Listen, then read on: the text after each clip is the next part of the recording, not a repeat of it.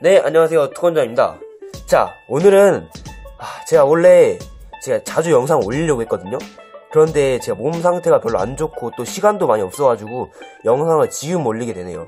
자, 먼저 오늘의 주제는 바로 미스테리 가제입니다. 어, 미스테리 가제에 대해서 좀 간단하게 설명을 해보겠습니다. 먼저 미스테리 가제는 처녀생 식종이에요. 한 마리만 있어도 이게 번식이 가능합니다. 번식이. 저도 이거 한 마리로 번식을 한 거예요. 여기 있는 개체들. 지금 조금해서 안 보이는데 치비들이 되게 많이 있습니다.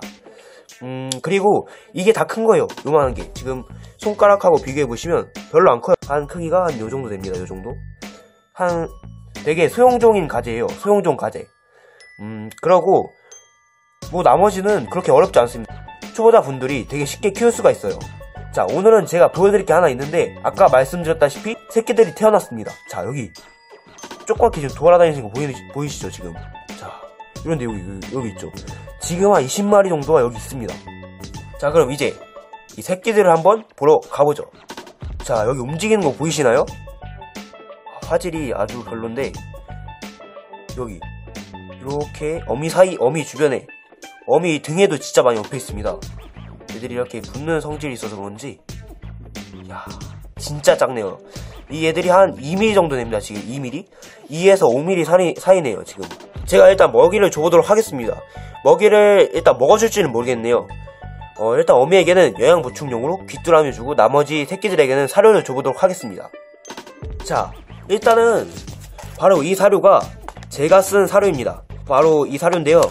어, 일단 이런 가재나 새우, 그런 갑각류를 먹이는 이런 사료들은 시중의 샵에서 어렵지 않게 구할 수가 있습니다. 사료는 이렇게 생겼어요. 이런 식으로 이렇게. 애완견, 그리고 고양이 그런 사료와는 좀 다른 느낌이죠.